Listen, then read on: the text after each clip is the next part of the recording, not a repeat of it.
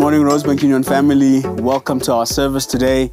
My name is Zulu. I'm the pastor of discipleship here at Rosebank. I just want to bring your attention uh, just three notices. So the first one is today it's spring. It's a spring service, uh, and so there'll be uh, no 5 p.m. service today. But straight after the 10 a.m. service, we have uh, food, music, and great festivities in the amphitheater. So please do not rush off. Please join us for that. And if it's your first time back at the church after such a long time, please join us at the Get Connected Gazebo. We would love to welcome you. Uh, but yeah, please stay behind. Let's have some great fun. And if you are visiting us uh, for the first for the first time, please do not rush off as well. Join us at the Get Connected Gazebo. Uh, I'll be there. Uh, other pastors will be there. So we'd love to welcome you to Rosebank. The second announcement that I have for us today is today we're back doing the book of Daniel after taking three weeks of a break. Uh, because of the kind of content that we'll be getting to uh, in the next couple of chapters in the book of Daniel, we do require extra time uh, to discuss uh, a lot more of these complex subjects. So, because of that, we will be having uh, three Wednesdays here at the church, and please do come through as a CG. Uh, there will be great time of teaching from Pastor Richard, but also Q and A and engaging over the kind of content that we'll be dealing with. So please do join us. Uh, and then, in fact, along with that, for the three Wednesdays starting next week, I'll be running a CG Connect. Now, the CG Connect is a space for people that are looking to get connected into community groups here at Rosebank. So please join me in the beta room from 6 p.m. till 7 p.m. as we get oriented around CGs here at Rosebank. So please join me. If you're not connected and you want to get connected, you want to come through to the beta room. Hey, Rosebank Union Church family, I have an exciting announcement for you.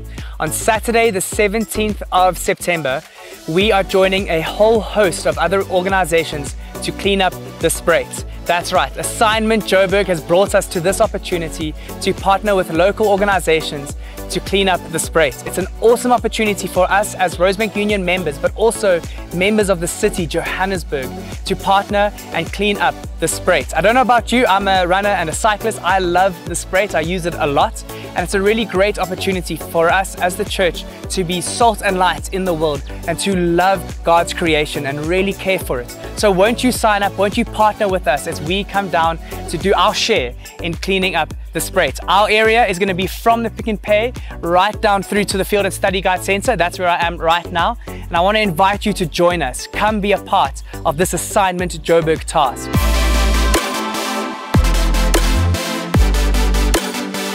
Project Refresh is a campaign to renew, revitalize, and refresh our facilities here at Rosebank Union Church. We've been the grateful beneficiaries of the sacrifices made by this community 23 years ago to build this magnificent church home here in Sandton. Now it's our turn to invest and ensure its longevity into the next 23 years. We've identified five areas around our church that could do with a little bit of TLC, as well as some improvements to better position us for ministry going forward. One of the features of our wonderful church is the street cafe and the amphitheater. And what we want to do in Project Refresh is connect those two spaces and give them a little bit of a facelift. And so, what I'm so excited about this part is that if you know the street cafe well, we will drop the floor, uh, take away the dividing uh, seats, and open the space up into the, the, the area that is called the street. And then we won't just stop there, we want to push into what used to be called the Welcome Center. And if you've been here for a while, you remember that was also where the library was at one point. We'll push through into that space and make a secondary coffee bar where people can go to buy a coffee after the service.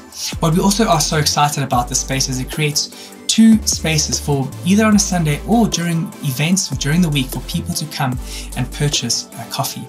But not only that, we will also install a free tea and coffee station so that anyone and everyone is welcome to please use the space between the street cafe and out into the amphitheater. A big part of us opening it up is to make space for fellowship, whether you've bought a coffee or not. We want people connecting after the service and using the space freely. Another great uh, space that we want to do, or another thing we want to do in this space, is to connect the street cafe into the amphitheater by pushing through those windows and creating folding stacking doors that can be opened up nice and wide for people to get out into the amphitheater. And in this new amphitheater, you'll find it nice and tiered, a great space for people to sit and connect after the service, or even for our spring day services or outdoor sunrise services on Easter Sunday, uh, just creating more opportunity for us to gather as a church outside and use the wonderful facilities that we have. And as you go out into this new and improved amphitheater, you will find a brand new jungle gym designed for the children of our church to have a load of fun. And so while parents are connecting after a service, their kids can go and have a great time in a jungle gym that rivals all jungle gyms. And all of this is done so that people can connect and have better fellowship after the service. We believe that the Word of God changes lives. And so, what we would love to see happening is that after a church, after a church service, our congregants are gathering and talking about how God has spoken to them through His Word. And we really believe that by creating this space, we will see a wonderful growth in the fellowship of our church. And that's what Project Refresh is all about in our amphitheater and street cafe. Every family has a house that becomes its home. In the same way, this church family has a place of worship that becomes a home for this household of God. Help us renovate this home. In so doing, not just for our own benefit, but for the benefit of generations to come. To find out more about Project Refresh, head to ruc.org.za forward slash refresh or watch the replay of our town hall meeting. Please sit back and just uh, soak in uh, God's word as we dive into the book of Daniel. Enjoy the service. Cheers.